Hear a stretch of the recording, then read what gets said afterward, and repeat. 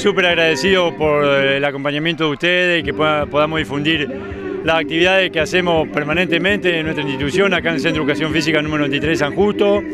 Bueno, parte de nuestra planificación anual era hacer encuentro con los jardines de la ciudad, así que en el día de hoy eh, tenemos la, hoy en realidad la tercera jornada porque tuvimos dos ayer lunes, por la mañana y por la tarde, y tenemos una más esta tarde, eh, hoy día martes, así que bueno, son cuatro jornadas, tuvimos que vivirlo por la cantidad de alumnos, prácticamente 200 por jornada. Eh, están todos los jardines de la ciudad, Jardín 20, 186, 94 del colegio.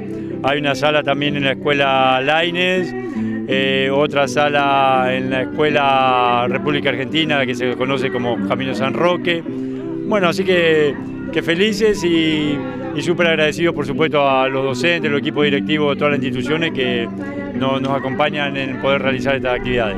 Fabri, ¿cuál es la idea? ¿Cómo surge la iniciativa?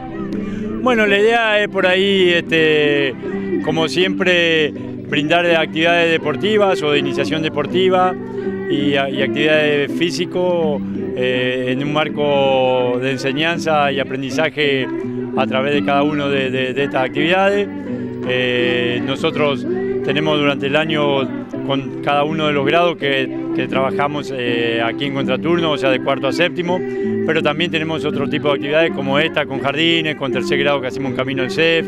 Bueno, eh, darle a los alumnos también un poco eh, un panorama y que puedan tener conocimiento de, de qué es lo que hacemos aquí, nuestras instalaciones, porque muchos de ellos en pocos años van a estar concurriendo aquí.